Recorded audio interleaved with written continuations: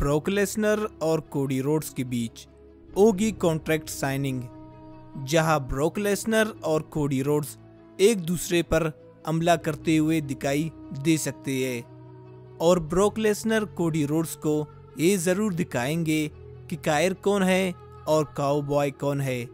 जानेंगे सब कुछ आज के इस वीडियो में तो वीडियो को लास्ट तक ज़रूर देखना। दोस्तों, इतनी ब्रूटल पनिशमेंट मिलने के बाद रस्सी जल गई, लेकिन बल नहीं गिरा। एक बार किस्मत ने साथ दिया, जिसका काफ़ी फ़ायदा उठाया कोडी रोड्स ने।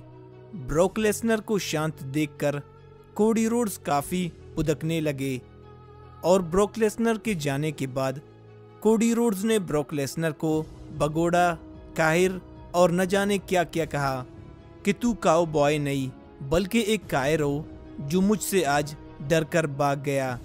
और सभी यही जानते हैं कि किसी बड़े मैच को ऑफिशियली कंफर्म करने के लिए कॉन्ट्रैक्ट साइनिंग का सेगमेंट भी होता है। और इस सेगमेंट में ब्रोक लेसनर ने न जाने कई अपोनेंट्स को उनकी नानी याद दिलाई है।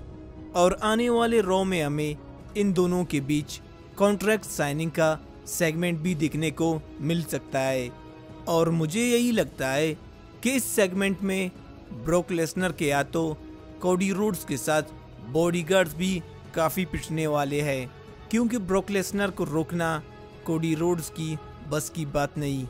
और दोस्तों, वैसे आपको क्या लगता है कि कौन जीत सकता है बैकलैश 2023 के मैच में ब्रोक लेसनर या कोडी रोड्स?